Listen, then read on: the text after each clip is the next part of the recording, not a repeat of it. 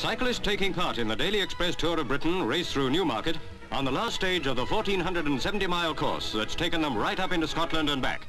They've been at it for 16 days, but they're still keeping a good pace.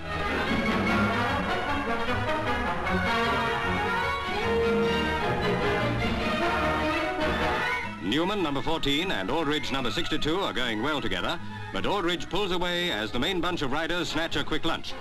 Out of the 78 cyclists who started on this grueling race, only 43 are left, and they're still going like champions as they near London.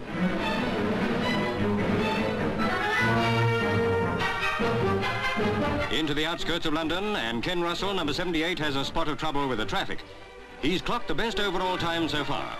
But at the finish, victory on the last stage of the 14-lap race goes to Scales, number 24, though it's Ken Russell who flashes across the line to win the most coveted title of them all, King of the Road for 1952.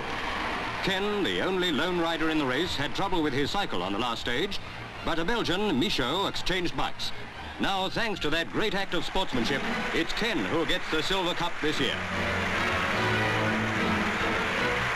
It's over 20 years since Cardiff